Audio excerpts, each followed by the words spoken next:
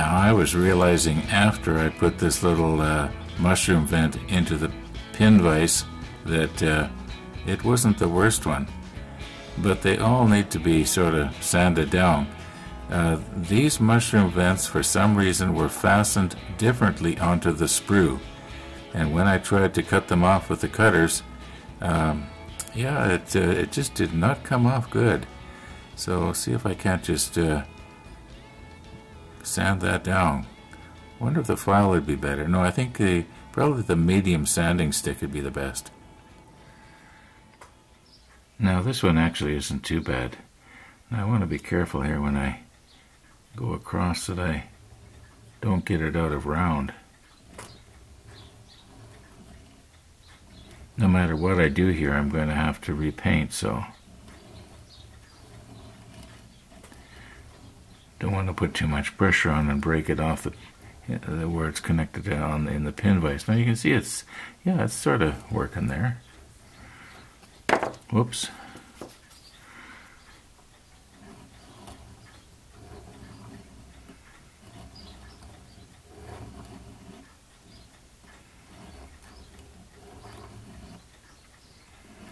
At least we're getting the, what you might say was the burr.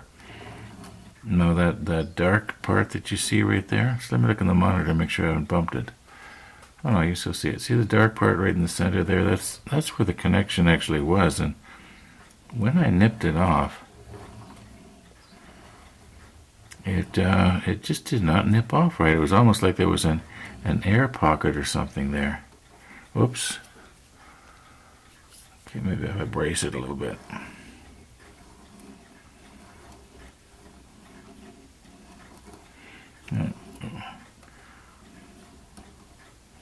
And keep this uh, sanding stick flat.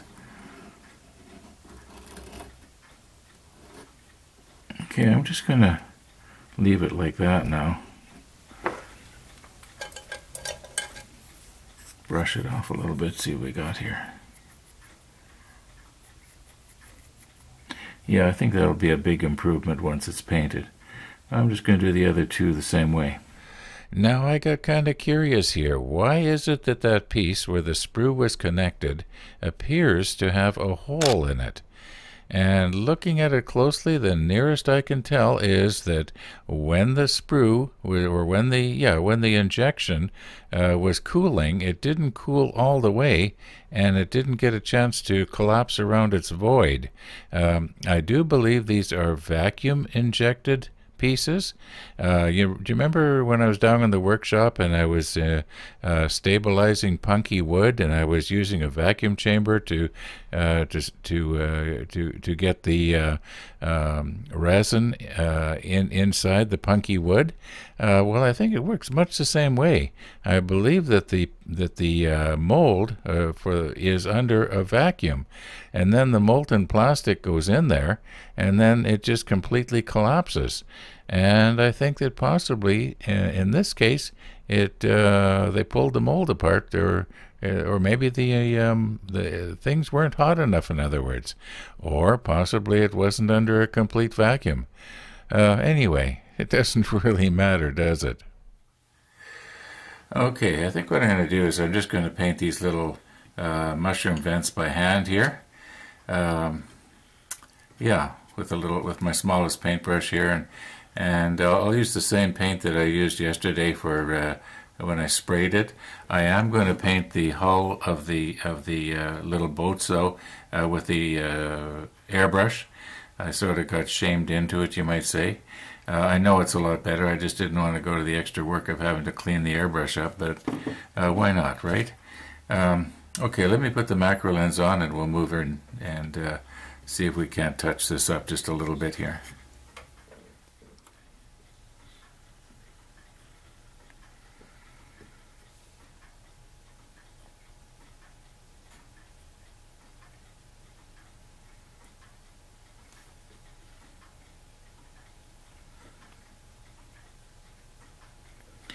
I'm just going to sort of flood it on here. I'm going to trust that when the uh, paint evaporates, it's going to sort of close around the all the areas that looks like I made it too thick.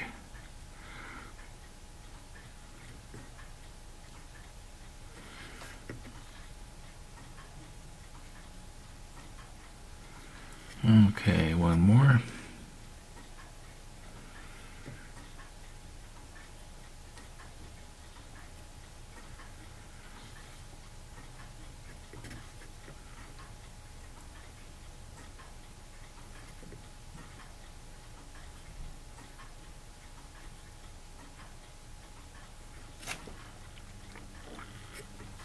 Okay, let's just leave well enough alone here.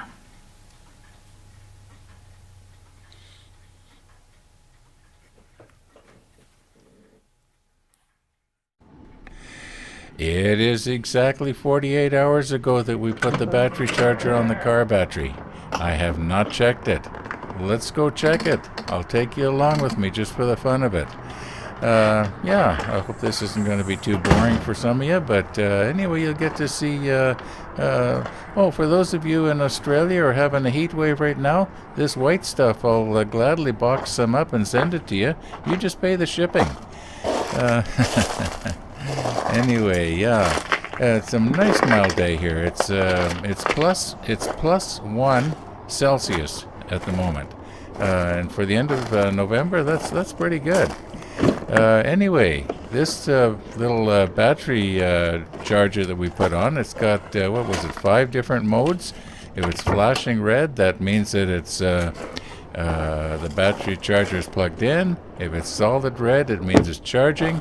If it's solid green, that means it's charged up and it's uh, doing something. And if it's flashing green, that means it's just maintaining. So we'll see what we got here.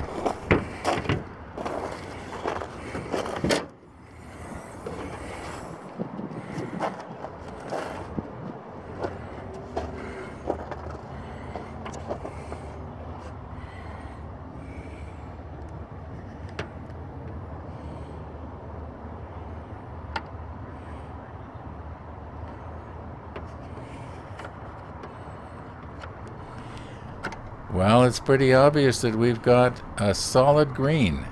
Uh, it might be a little hard to see. I realize that that camera did not autofocus. Uh, well, that's the way it goes.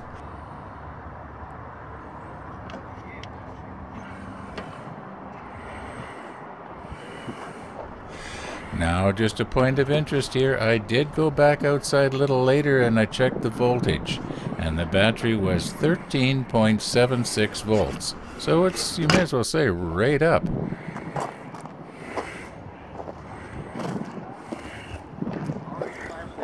I've concluded that there's nothing wrong with my volt ohm meter. Remember a couple of days ago I couldn't get a reading when the battery charger was connected to that small battery? Well, I concluded that the uh, battery charger was probably pulsing the current or varying it up and down, and the uh, ohm the ohm meter or the voltmeter uh, just couldn't calculate it and give us a steady reading. I think the I think it's working okay.